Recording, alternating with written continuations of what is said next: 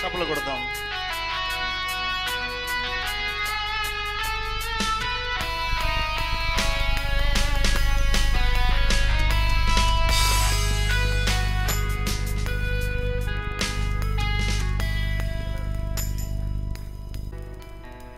చప్పలు కొడదాం దేవునికి మహిమ కలిగిన chief guest reverend Paul Emmanuel గారు మన మధ్య ఉన్నారు. వారు ముందుకు వచ్చి క్యాసెట్ రిలీజ్ చేయవలసిందిగా కోరుతూ ఉన్నాను.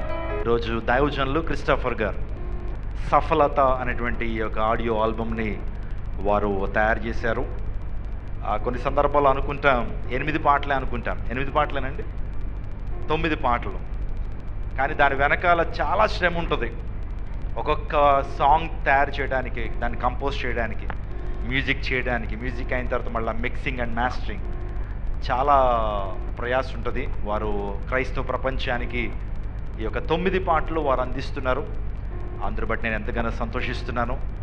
పరిశుద్ధ తండ్రి యొక్కయు కుమారుని యొక్కయు పరిశుద్ధాత్మ నామంలో సఫలత అనేటువంటి ఆల్బమ్ని రిలీజ్ చేస్తున్నారు.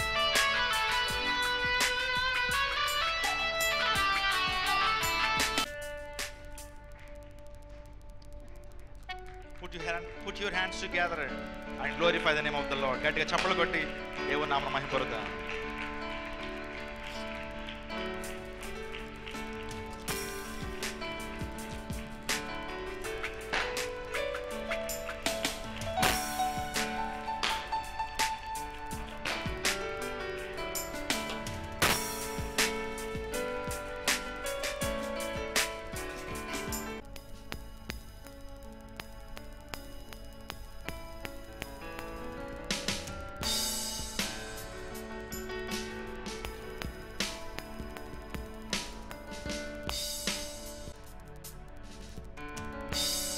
దేవునికి మహిమ కలుగును గాక దేవునికి మహిమ కలుగును గాక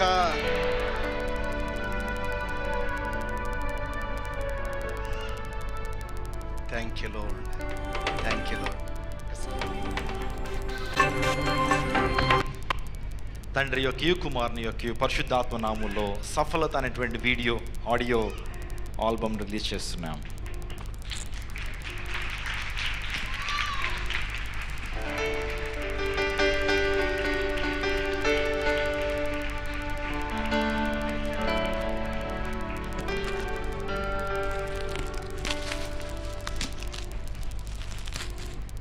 గట్టిగా చప్పలు కొడదామమ్మా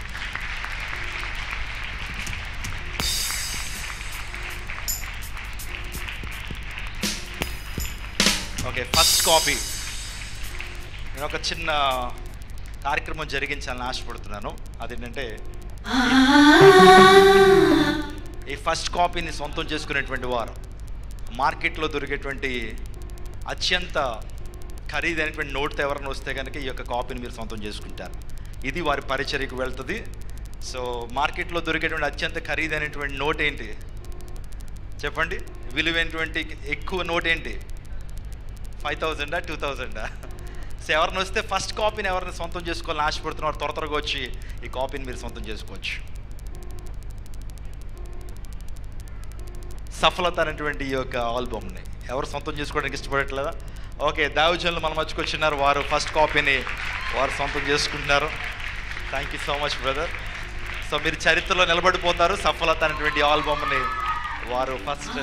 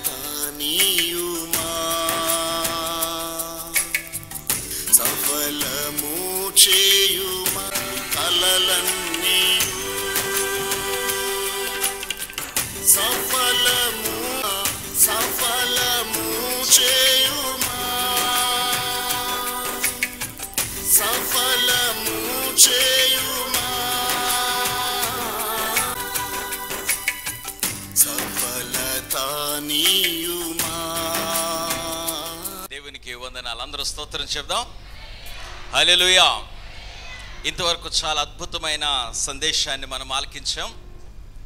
ఈనాటి సభాధ్యక్షులు రెవరెండ్ విన్సెంట్ గారి యొక్క ఆధ్వర్యంలో మొదటి క్యాసెట్ రెవరెండ్ క్రిస్టఫర్ గారు ప్రారంభం చేసిన ఆ దినం నాకు జ్ఞాపకం. ఎందుకంటే ఆ రోజు వర్తమానికనిగా నేను ఉన్నాను. ఆ క్యాసెట్ నా కారులో అరిగిపోయింది. నాకు మరలా క్యాసెట్ దొరకలేదు. అంతటి మంచి పాటలు. పాటల గురించి దైవచనుల ఆరాధన గురించి పాల్ ఇమ్మానియల్ గారు యవ్వనస్తులు డైనమిక్ స్పీకర్ అద్భుతమైన సందేశాన్ని అందించారు. I want to add some other issues to that message ఆరాధనలో లేక పాటకు ఉన్న ప్రాధాన్యత అంతా ఇంత కాదు. ఒక ప్రసంగికుడు ఒక గంట సేపు ప్రసంగాన్ని చెప్పి విశ్వాసులను బలపరచాలనుకుంటే ఒక పాటను వ్రాసి ఒక పాటను పాడే వ్యక్తి మూడు నిమిషాలలో అనేక వందల మంది మధ్య మనస్సును మార్చగలరు. ఒక ప్రసంగము కన్నా ఒక పాట చాలా మిన్న. బైబిల్లో మీరు ఎక్కువ చదివే గ్రంథం లేక పుస్తకం ఏది అంటే నాకు తెలుసు రెండే రెండు పుస్తకాలు చదువుతారు. ఒకటి కీర్తనలు రెండు సామెతలు. ఎందుకు ఆ రెండింటికి అంత ప్రాధాన్యత అంటే ఆ రెండు పాటలు మాత్రమే. అవి పాటలు కాబట్టి చాలా సులువుగా మనము మాట్లాడగలం. పాట కాబట్టి చాలా సులువుగా మన మనసులలో ఉండిపోతుంది. కాబట్టి పాట చాలా ప్రాముఖ్యమైనది. మరొక మాటను చెప్తాను. మొదటి క్యాసెట్లో క్లిస్టఫర్ గారు ప్రతి పాటకు ముందు తన యొక్క అనుభవాన్ని జోడించారు. ఆ అనుభవాన్ని జోడించిన ఆ సంఘటనలను చూసినప్పుడు వినినప్పుడు ఒక విషయాన్ని నేను గమనించాను. ఈనాటి కాలంలో పాప్ మ్యూజిక్ మామూలు ఆంధ్ర క్రైస్తవ కీర్తనలు కూడా పాప్ అండ్ ర్యాప్లో పాడుతూ ఉన్నారు. అసలు భావాన్ని భాషను మరిచిపోతున్న ఈ దినాలలో అచ్చ తెలుగులో అనుభవముతో కూడిన పాటలు. అంతేకాని చాలామంది పాటలు వ్రాసేవారు చాలా ఎక్కువ మంది పాటలను పాడేవారు మరి ఎక్కువ మంది కానీ అనుభవాన్ని జోడించి అనుభవాన్ని ప్రకటన చేయడానికి దేవుడు వారి మదిలో ఉంచిన ఈ రెండవ ఈ యొక్క ఆల్బమ్ అభిషేక ఆరాధన అనే దానిని నిస్ అభి సారీ సఫలత అనే ఈ యొక్క క్యాసెట్ను దేవుడు దీవించాలని నేను దేవునికి మనసారా ప్రార్థిస్తున్నాను. నా చివరిగా ఒక మాట బైబిల్లో ఉన్నది కానీ లేక సామాజిక విషయములో కానీ పాట యొక్క ప్రాధాన్యత ఎంత అంటే ప్రతి ఒక్కరూ మొట్టమొదట ఏ పాట వింటారు అంటే ప్రతి ఒక్కరు. భూమి మీద పుట్టిన ప్రతి ఒక్కరు ఒకే ఒక పాట ఆంధ్రులమైన మనము వింటామని నేను అనుకుంటాను. అది తల్లి పాట. తల్లి ఉయ్యాలలో బిడ్డను పెట్టిన తర్వాత మీరందరూ పాడే ఉంటారని నేను అనుకుంటున్నాను. ఈ మధ్య అందరూ సీడీలు క్యాసెట్ లేక టేప్ రికార్డర్ లేక మొబైల్లో ఆన్ చేసి పిల్లలకి ఇచ్చేస్తూ ఉన్నారు కదా? చాలామంది పిల్లలను అలాగే పెంచుతున్నారు. ఉయ్యాలలో వేసి పాటలు పాడే తల్లులు కరువైపోతూ ఉన్నారేమో. పాపకు ఆ మొబైల్ ఆన్ చేసి అన్నం తినిపించడం లేక చందమామను చూపెట్టి చందమామ రావే అనే పాట పాడి పిల్లలకు అన్నాలు తినిపించే తల్లులు ఎంతమంది ఉన్నారో ఆలోచన చేసుకుందాం. తండ్రి భుజము మీద బొంగురుతూ భుజము మీద పిల్లలను ఎక్కించుకొని గుర్రపు బండిలా తిప్పే తండ్రులు ఎంతమంది ఉన్నారో. ఓ మాటను చెప్తాను జాగ్రత్తగా గమనించండి. తల్లి మొట్టమొదట ఒక పాట పాడుతుంది. ఏమనంటే చెప్పండి. లాలి లాలా అది చాలా రాగయుక్తమైనది. ఆ లయబద్ధమైనది చాలా రకాలుగా దానిని పాడుతారు లాలి లాలి. కానీ అది కాదు. అక్షరాలు రాని తల్లి పాటల మీద అవగాహన లేని తల్లి కూడా ఒక పాట పాడుతుంది ఎనిబడి నేను చెప్తాను. హాయి. అవునా కాదా? ఆలోచన చేయండి. ప్రతి తల్లి పాడేది హాయి అనే. ఉయ్యాలలో పాపను పెట్టి లేక బాబును పెట్టి హాయి హాయి. ఎంతమంది తండ్రులు పాడారో కానీ నేను పాడాను. నేను పాడాను. నా పిల్లలకి నేను పాడాను. మరి ఎంతమంది తల్లులు పాడారు? అసలు అర్థం ఏంటో తెలుసా? హాయ్ అంటే ఏదో మ్యూజిక్కా? అది కాదు. పునరతి జననం పునరతి మరణం. ఎక్కడో పుట్టేవరా ఇక్కడికి వచ్చో లేక ఇక్కడ పుట్టేవరా ఎక్కడో చస్తావు అది అర్థం. ఇందులో ఉన్న హాయి అంత అంతే. ఈ భూమి మీద ఉన్న హాయి లేక ఈ ఉయ్యాలలో నీకు ఇచ్చిన హాయి ఏది ఉండదురా. రెవరెండ్ పాల్ ఇమానుయల్ గారు చెప్పారు ఒకే ఒక్కటి చివరికి మిగులుతుంది అది దేవుడిని ఆరాధన చేయడం మాత్రమే. ఎవరైతే భూమి మీద ఆరాధన చేయగలుగుతారో లేక నీవు ఏది పాడినా అది మాత్రం గుర్తుపెట్టుకోండి. అంతే. ఇంకా అంతకు మించి ఏమి మిగలదు. దేవుడిని ఆరాధన చేయడం మాత్రమే. క్లిస్టఫర్ గారిని నేను నిజంగా అభినందిస్తున్నాను.